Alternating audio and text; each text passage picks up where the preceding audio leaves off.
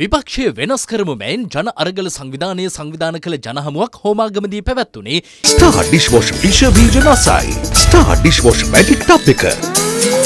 එහි ජාතික විදායකකමට සාමාජික පුබුදු ජයගොඩ මහතාගේ සහභාගීත්වයෙන්. දැන් ලිපේ වතුර නටනකල් කකුලුවා සෙල්ලම් කර කර ඉන්නවා හරිම සනීපයි ලා උණුසුම් වතුර කී කී ඉන්න එහෙම එකක් තමයි මේ තියෙන්නේ. රනිල් උගුලක් ඇටෙව්වා IMF උගුලා. ඒ IMF උගුලස්සේ ඇටෙව්වා 2028 පුපුරන කාලබෝම්බ. දැන් මොන ආණ්ඩුව ආවත් ඒ ආණ්ඩුව මේ උගුලස්සට රිංගුවොත් එහෙම. ඒ ආණ්ඩුව මේ කාලබෝම්බෙට අහු වෙනවා 2028 නැවත 2022ක් බවට පත් වෙනවා. ඒ කියන්නේ මේක දැන් ඉතුරු වෙලා තියෙන්නේ. දැන් ජනාධිපතිවරණයේදී ජනතාව තීරණයක් ගත්තා මේ බොරු සක්කඩි රැළ ඔක්කොම එලවලා දාන්න. ඒ එලවලා දාන කතාව කොච්චර ඉස්සරහට ගේන්න කියනවනම් මේ සැරේ මහමැතිවරණයට 60ක් විතර 205ක් විතර ඉන්නවා മന്ത്രിවරු, හිටපු മന്ത്രിවරු, හිටපු ඇමතිවරු, හිටපු දේශපාලන පතාකයෝ එන්නේ නැහැ මේ සැරේ මහමැතිවරණයට. ඒගොල්ලෝ මහමැතිවරණේ මග අරලා පැනලා ගිහිල්ලා තියෙන්නේ. අර්ජුන් ඇලෝසිස්ට මාස 6 සිර දඬුවම් හම්බුනේ 2017 පනවපු නඩුව. ඒ කියන්නේ මිනිහා රුපියල් කෝටි 350 ගෙවන්න නැතුව ඉඳලා තියෙන්නේ 2016. අර්ජුන් ඇලෝසිස් WM මෙන්ඩිස් සමාගම හදන්නේ අරක්කුනේ. ඇත්තටම රුපියල් 3300 3400 තියෙන අරක්කු බෝතලේ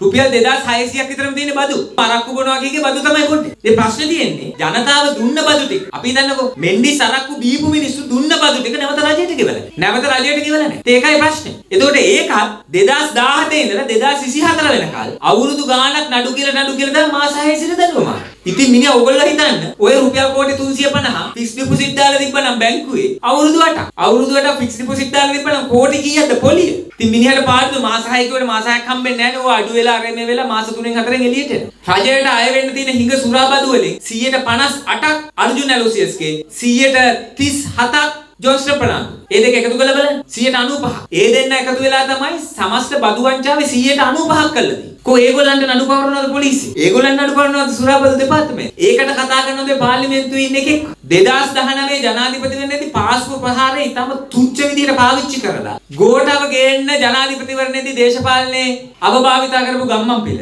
පාස්කු ප්‍රහාරය පාස්කු ප්‍රහාරය කීකේ ඒ කඳුළු විකුණගෙන ගාපු තක්කඩි රැළ. දැන් 2024 නොවැම්බර් මාසේ මහමැති මේ හතරවෙනි ජයග්‍රාහී මැතිවර පාස්කු ප්‍රහාරය ගැන කියලා ඡන්ද ටික මම කොල්ල ගන්න. වාර්තා හංගනවා වාර්තා එළියට දානවා. වාර්තා හංගනවා වාර්තා එළියට හංගනේව එළියට දානවා එළියට දානේව හංගනවා. ඒක වැරදි කියනවා. ඒකේ පිටුවඩුව කියන මොන විකාරයක්ද මේ? අවුරුදු කීයක්ද දැන්? ආය ආය මේ අර පළවා හරපු ජාතිවාදී දූෂිත රොත්ත ආය බලයෙන් මේ පාස්කු ප්‍රහාරය හරහා පාරක් කපන්න.